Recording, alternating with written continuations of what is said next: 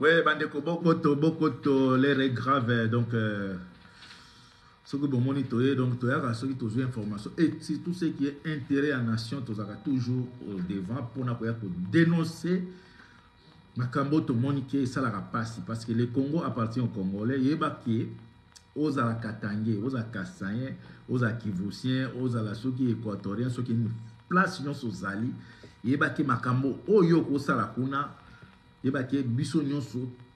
il faut interesse biso toza concerné parce que mabele eza koappartenir na congolais nyonso donc information oyo naye na yango lelo bandeko na ngai lelo je pense que euh, Eh, eza na image moko na kolakisa bino après na kokomante yango je pense eza parmi babiloko oyo biso toloba yango depuis kala olembisa ngai oyo namoni awa oyo esala mwa bien eh, donc eza parmi babiloko oyo biso todenonsa depuis kala euh, Na sepeli mingi na ndeko apesi ngai emission oyo, aza kaka ndeko na biso oyo aza toucher, aza pe kasaien, apesi ngai emission po nalobela yango, ye moko dejà aza kasaien, ça veut dire e toucher ye, yango omoni ke alobi papa bolobela nanu emile eloko oyo, yango nalingi nalobela bino bokota ba ndeko na ngai tosolola, mbote mingi na la grande dame et ma femme que j'aime beaucoup Younous Shebanzi place ozali, napesi yo mbote et je t'aime beaucoup et bon travail et bonne continuite toujours na musala na yo oyo oza osala toujours na Gessen Strat na numero 92 na 53 bandeko na ngai boya ebele mpona kosala ba transfert kosomba ba biloko na magasin ya la grande dame Eunice Banze toujours au service du peuple la femme intelligente la fleur du jour la femme intelligente toza toujours na aloste bandeko na ngai boko toko bomolanda yango makambo oyo ntango toza koyebisa bino ke bandeko na biso ya kasai bolingi peuple congolais te bomilingi nano bino moko te bomilingi bino moko te me oyo apesi ngai image oyo aza ndeko na biso mpe ya kasai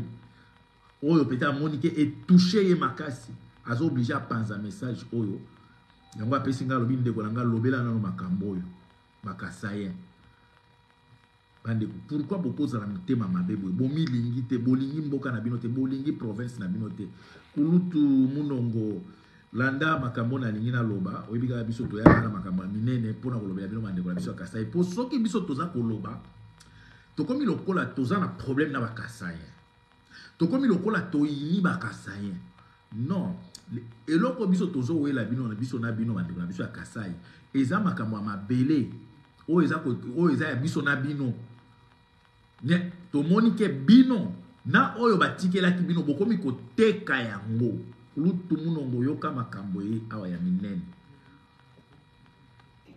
Boketshu wa yambo na kotindola image faut kolakisa bandeko na biso bandeko na biso ya bakasaye bokota bokota bolanda bino moko bandeko ya kasai bokota bozwa bakiti bofanda nasepeli mingi namoni papa evariste ana mono papa evariste aza wana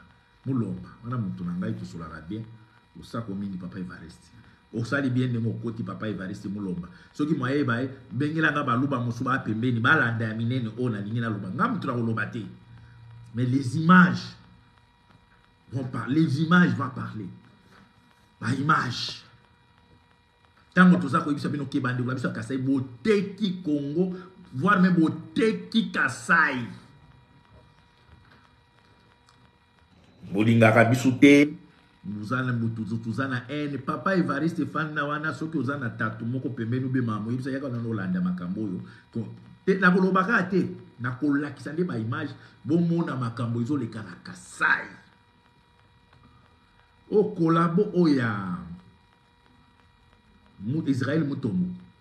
autaki koleka periode moko alobaki auti na Kasai amoni na Kasai eza na bakartier mosusu batuti na batuti batondi ebele nayebaka te bandeko na biso ya Kasai na barwande bozalaka na relation nini oyo bango bapona kaka bino Ambassadeur ya Rwanda alobaki yango dans 30 ans metissage moko ya makasi ekozala entre ba Tutsi na baluba tomonani baluba botomboka boloba baluba yango barwanda yango bakokotela wapi batutsi yango bakokotela wapi boloba te bofandi kimia seko boza complice ya présence ya batutsi Na Est ya mboka na biso. Bobimisa ngai, bandeko na ngai, ekaboli. Sikoyo botala makambo oyo. Le peuple corrompu. Bandeko na biso ya Kasai. Ba chefs coutumiers corrompus. Tolanda. Image yango moko eloba, Papa Evariste, zala wana, zwa kiti, fanda. nayebi te kuna epai na bino oza na chaleur soki oza na mwa primis fungolaka deja olanda makambo oyo ezoleka precisement na bako ya kalonji ngai nakoloba mingi te me nakosala tu nalekisa nasimba telefone bolanda bomona puisque ngai nakoya kokomante lisolo oyo ngai nalingi nalakisa mwasi oyo afandi na etats-unis Proviste kaka boye akiti na Kasai alobi aza princesse ya bako akalonji a princesse ya bako akalonji akiti na bambongo akiti na babiloko akomi kuna bayambi ye abeti liso abeti kaka lisolo ke papa na ye eh, aza nde soki roi ya, ya, ya, ya bako akalonji wana aye kaka na lisolo oyo mpe yo mpe okotanga yango na livre olati yango ekomi ya yo kaka ndenge toyaka na ngunda bamosusu babauta na, na kananga babwaka lokola bato ya kivu elekaka na yango outi mpe moto akimi obwaki lokola katange elekaka na yango soki otangi yango kaka mwasi oyo alati histoire ya kasai akiti epa bandeko na biso ya bakasaye alobi aza princesse ya bakakalonji aye kokita bayambi ye bandeko na ngai balatisi ye na biloko balatisaka wana me eloko etike nga moke eza moko culture na biso ya bato ya babaluba bazaka tro ntaba mbuji toyoka mango ya ngombe te bandeko na biso ya kasai mingi ezalaka mbuji motu wa mbuji cibelebele sabedi banyama oyo bango batanga nzolo ya bakishi nzolo sabedi soso ntaba na eh, comprendre eh, bambwa comprendre parmi nyama oyo bango baliaka mingi oyo batangaka mbuji mbwa na tolongola mpo wana eza spécialité na bango me ntango nayoki mwasi oyo auti états-unis aye na histoire ya koloba aza princesse papa na ye boye boye boye aye na lisolo ke namemeli bino bangombe na ah! nabi lisolo yango oyo princesse oyo aye na bangombe ekoleka te ekoleka te bamasolo ya ngombe toyebi yango ndenge eza boye basombi bachef coutumier ya bako akalongi chef mobimba te kofanda na ye afanda na ye na kinshasa basundola bato kuna Botala ba aventure ya bandeko na biso ba Kasaïen, ba Kasaïen toyebi ke bon biso tokoloba no tosala bino nini oui mais bomisali nini bino moko boza komitraire booteka mabele moto abomaka kamwe na sampo muluba boshab na oyo soki nani fule kanko babomaka mokaka nani baboma nani comment il s'appelle eh, eh nani oyo kamwe na sampo Bolanda bandeko na ngai, bandeko bandeko ya biso ya Kasai, bozwa bakiti, bofanda, bofanda, bomona ndenge bobotola bino mabele, bokoma na baprincese ya batutsi, bokota, bolanda bandeko na ngai, naolekisa yango mwa moke. bayebi nalo bachiluba nyonso eza te donc nayebisi bino ke ndeko oyo ya mwasi oyo bino moko boyoka biloko azoloba mpo aloba na français alobi ke abotama libanda na états-unis azongi sikoyo epai na bango aza princesse aza mwana ya moko ya kalongi soki ne chef kalongi soki nani azongi kuna baluba ba balatisi ye na babiloko ya bashefu kutije baprincesse Mais eloko eye amemeli bango ba mbongo biloko akabeli bango baluba bateki mabele bateki mabele muluba ayakaka na bakado ya ngombe te mbala ya liboso ngai nayebi muluba ayaka na mbuji mbuji mais oyo ekomi ya bangombe eza kiltire na biso te Baluba bo koto bo fanda nazo zwela yango place nako zwa awa bandeko bo fongola matoyi oyo ya baluba bo yoka mais ya français boko yoka pe place ya français ekozala mwa molayi boye bo landa yango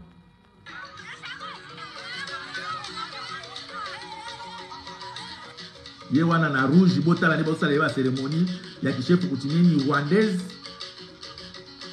ye wana na kati rwandaise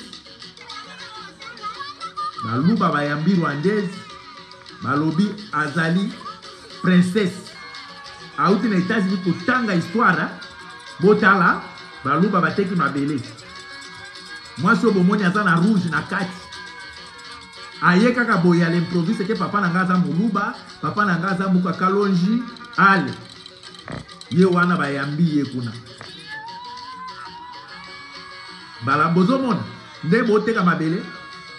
eputa ambassadeur ya rwanda ayebisaki bino bolanda apres video mosusu eza koya bokomona na basango baa na kati ya makambo oyo na video wana koya na boloni bola ye wana afandi une rwandaise aye kosotoproclame princesse Baluba likolo ya nzala bayambi ye botala. Auti kotanga histoire kaka ye wana. Botala nano kitamba eloko alati na mutu wana en tout cas eza nano eza biloko na biso vraiment te. Boyoka baluba bango wana.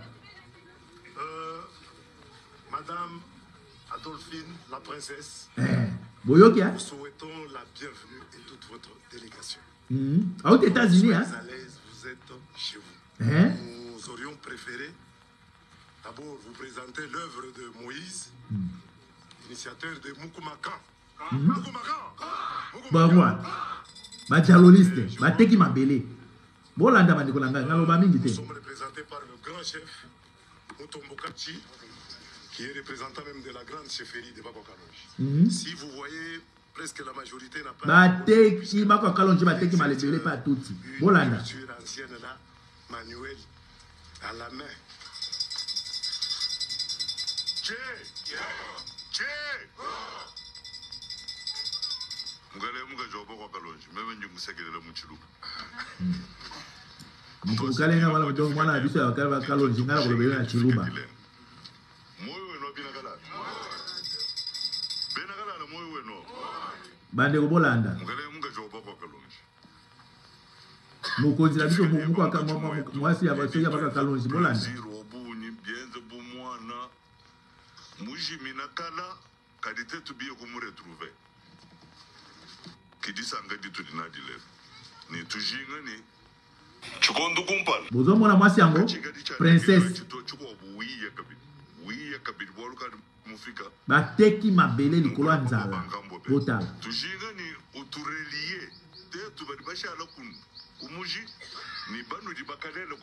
Donc ye ba rallier ba oyo batika na, mbo, na mboka na bango na ba oyo baza na Kasai et na Etats-Unis.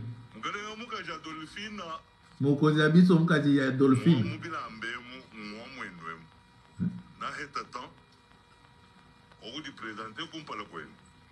Eh.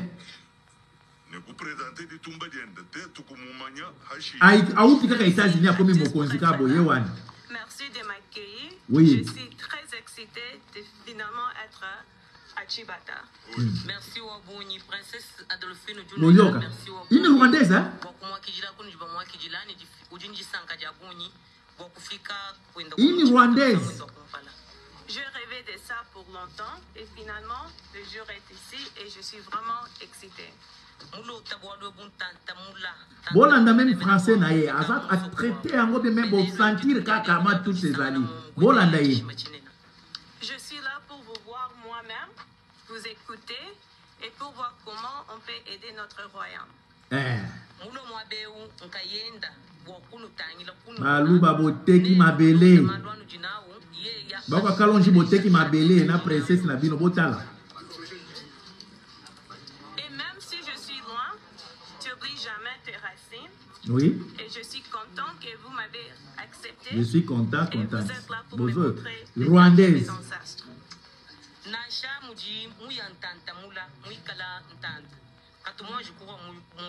C'est très dangereux bandeko na nga makambo na olakisa bino. Auti libanda ayebi atangi naika makambo ya Kongo atangi tangi na livre aye kobima te aza aza descendant ya place wana.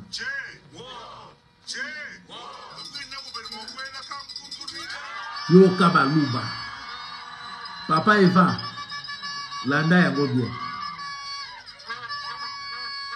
Baka kalonji.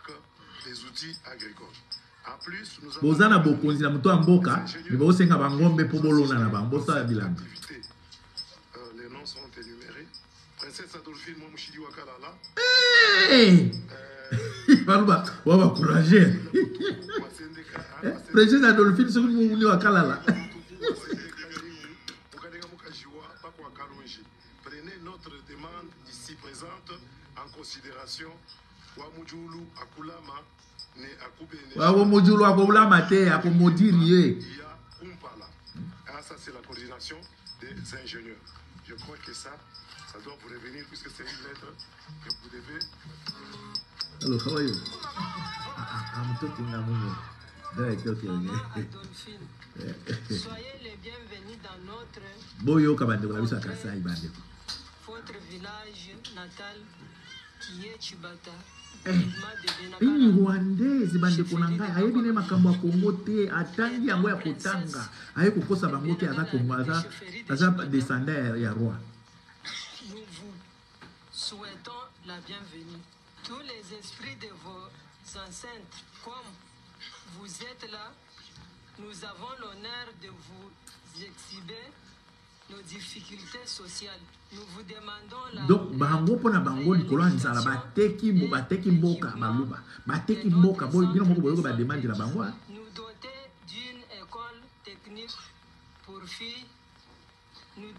bozoyoka biloko baosenga epai ya mwasi bozoyoka Bateki mabele likolo ya ngombe, kosenga ba ecole technique, kose bozo yoka baluba. Yoka. Pouvant abriter les enfants de provu. Comme vous êtes natif, les milliers nous vous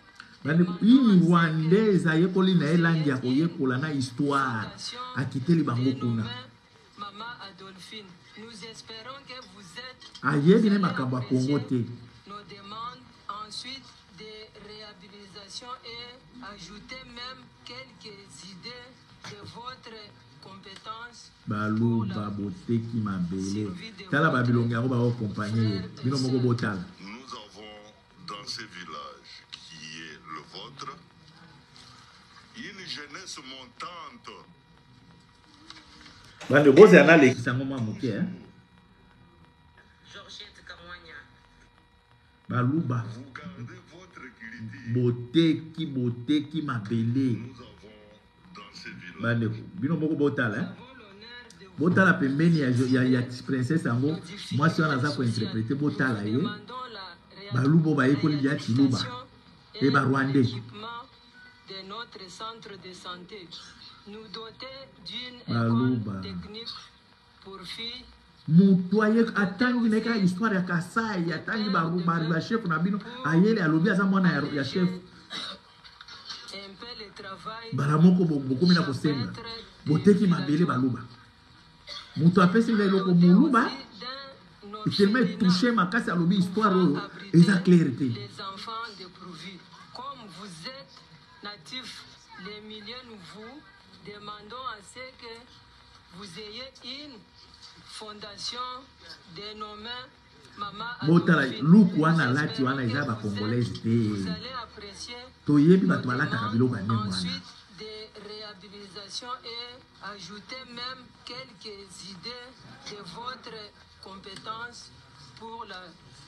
botala mwasi oyo aya pembeni na ye wana bozomona mwasi ya pembeni na ye wana elongi nini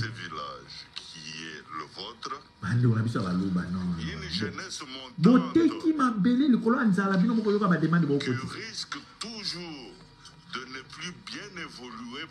tala biloko bakomi kobwakela ye na nzela nzela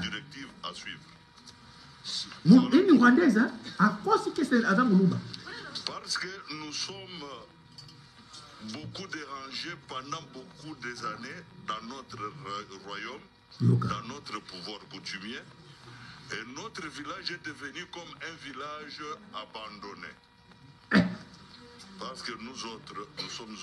azali azali mukongolais te nini alati kaka histoire atangi tangi aye kuna alobi aza descendant yoka ndenge bakomi kopesa pouvoir notre jeunesse se trouve dans un risque qui manque Yoka hein. Voilà pourquoi nous voulons vous demander, vous exposer la demande de notre jeunesse baluba bateki mabele mwasi wana bamoni alati rouge wana aza rwandaise aza congolaise te atangi histoire atangi atangi te acomprendre histoire ya baluba ayeki aza descendant botala Dans son sein le football et la boxe. Bino bo tala bilongi hein. Je pense que vous n'êtes pas Dieu qui va Rwandais ba sakani na bino ba tutsi. Néanmoins, nous sommes Roi nini oyo abotaki ye oyo moto ayaka na kimokolo boye hein? aboti ye na moto ayeka na kimokolo boyo naza desanda te vous gardez votre culture quand on vous voit vous venir ici tous on doit toujours plairer bateki mabele oyokili bango bandokende olela epa na ye likolo kaka ya nzala bateki bazwi princesse azanga nango azanga origine na bango te tala tala ndenge azokabela bango biloko boteki mabele baluba na une rwandaise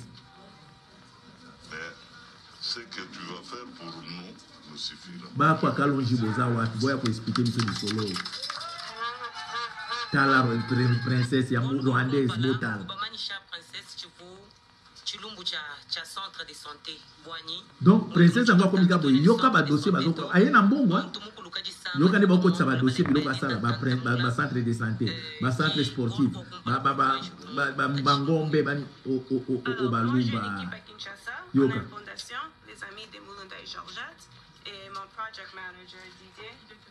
boyoka il a travaillé avec papa Marcel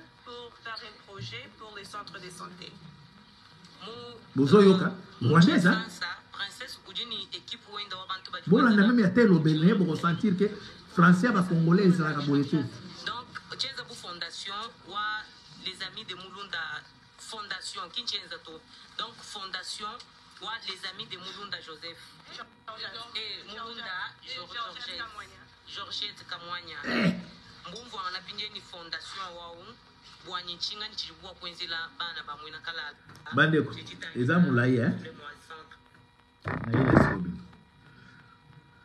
Peuple na biso ya Kasai to comprenaka bino te. Moto apesi ngai image oyo andola mino Kasai.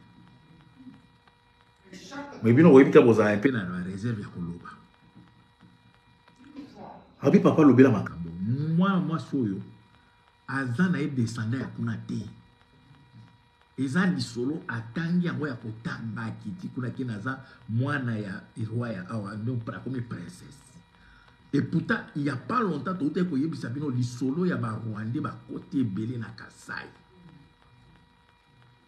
Lobi na kopesa na kolakisa bino image mosusu kaka meme moto apesi ngai bomona ke ezali na ba, ba chercheurs oyo baza koyekola langue ya, ya banini ya, ya Kasai kaka na Kasai na kati na bango ba Rwandais na ba Rwandais bazali bazoyekola kosala recherche ya langue ya ke ba Kasai na ba Rwandais ba na kati Bandeko na ngai, koma bokoki kosala boba intellectuel boza ebele. Mutu abimi kaka boye alobi ke aza princesse. Boyambi mpe ye bokomi kokotisa na bandeko ngai natika komona place oyo baluba bakolobela mamwa ngombe non non eza culture na biso ya bangombe eza culture na biso te Makambo oyo ya ba ngombe oyo ekomi ke apesa ba apesa ba ngombe ba nini eza ya ba congolais te eza biloko ya ba luba et ya ba rwandais makambo oyo ekomi ke amema di ngombe eza biloko ya bango ya ba rwandais comment soit disant princesse ayaka na kimokolo boye papa na ye abotaki ye akendaki na age nini akoleli ye libanda aya kaka boye mbala moko bondimi ye ke princesse bokomi na kosalela ye baceremonie ya kotanda bandeko na biso ya kase pourkui bokozala babolole boye pourkui bokozala babolole boye bazobotola bino mabele mpa batuti bozoyoka kaka te combien plusieurs fois tosali baémission ngai na bokeci toyebiseke bandeko na biso ya kasai baobotola bino mabele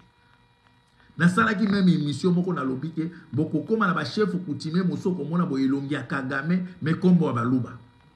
tokomi kokweyama na makambo yango nayebisa bino bokoya kokoma na bachef coutumier otali boye elongi ya kagame me nkombo ya baluba yango biloko tokomi na yango bazolekaka epai na bino kuna princese ya ndenge nini oyo abimaka na kimokolo boye eh? na kimokolo boyika mbala moko bokomi kotandele na bokolela na monoko ya mboka na minoko na biso ya baluba kala mingi te bokolela bokoperdre une grande partie ya mabele na bino barwandais bakokombatre bino na kati ya province na bino bokokóma na résistance na bitumba na bana oyo bokobota na baluba mpo basopi bango ebele kuna batutsi ngai moto nalobi te ambassadeur ya rwanda moto alobaki bokokoma likolo ya trahison na bino un jour bokokoma na resistance makasi ya ba rwandais na kati ya province na bino parce que bango soki bakomi place bobino na bino bokutani ya bino mpe bolinga kodomine bodirige bango mpe balinga kodomine bodirige donc bokopotana bokobomana donc message oyo na ngena ntina mingi bakoa kan longe po bayebisi nga surtout bino ba kalonji chef coutumier na bino akenda na ye afandaka ye na soki na, na kini atika na ye village kuna ke boza ko perdre mabele na bino na kati ya na ignorance na bino princesse oyo place awuti e, eza aza congolaise te histoire batangaka yango olati yango ekomi vrai histoire batangaka yango Olati yango ekomi vrai. Makambo oyo mwana mwasi oyo azosala eza biloko majuma ba Rwandais ebele bazotanga langue ya Congo soki boza au courant te boyeba ke na Rwanda bazopesa cours ya, ya lingala na Kinyarwanda na Rwanda bazopesa cours ya chiluba na Rwanda bozala kaka distrait bino omoni bino bozokima awa nalandi badoleance na bino epa moto wana bolela nzala bolela bangombe baeko bozokima nzala mais boyeba te bato oyo bazo remplace bino baluba rwandais nde bao remplace peuple azokima akomi na katanga ebele akomi na kinshasa ebele mais bato bao remplace bino na chef na bino cheftain na bino soki princesse na bino ya moluba ya rwandaise déjà akomi wana donc bandeko na ngai ya kasai Bozua mayele ba ndeko na biso baka kalo awa ba tanki baka kalonge botelema bolanda makambo ya princesse na oyo oyo aza aza rwandaise aza ndeko na bino te boyebake makambo ya bato ya boye bayakaka nde babotolaka mabele lobi bokomi ba esclave na roi ou bien prince ou bien princesse ya moto aza chef ya mboka na bino te boye kokoma ba esclave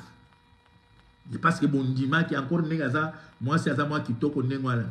wana kaka moto azoloba chiluba wana aza na miso minene kaka ye moko azota aji mukaji oyo mukaji eh, mukaji mwa eh. donc na motu na ye bakomobule kaka babotisa princesse wana tellement bolinga basi barwanda baluba ndenge aza na bozomona ye deja ke bokobota na ye me badesanda nde nde bakodirige bino Batu na biso ya Kasai bolingi kolia mbwa, kolia ba nini, tala ba commande bozo kotisa. Mutu auti kokoma kaka boye bokomi koleka kokotisa kolela. Likolo ya pasi bolingi botenga mabele. Et pourtant boza na bokonzi, boza na presidence. Felix akosombela bino ndi ngombe oyo bosenga mwana mwasi oyo ya Rwandais oyo. Basalaka lisusu bilanga na ngombe te. Basalaka bilanga na ba tracteurs. Mpo ayebisaki culture wana bangombe wana eza ya mwasi wana ya barwandais nde bazala bakolo bangombe. Merci mingi bandeko na ngai na ngeka nayebisa bino ke baluba bokotaka bofanda boyoka bokomi na princesse ya rwandaise. Boteki mabele likolo ya ignorance na bino. Mais topesi rendez-vous kaka nde balobaki dans 30 ans tokomona okoma na bana ebele ya bilongi ya Kagame na mboka na bino. nzambe apambola bino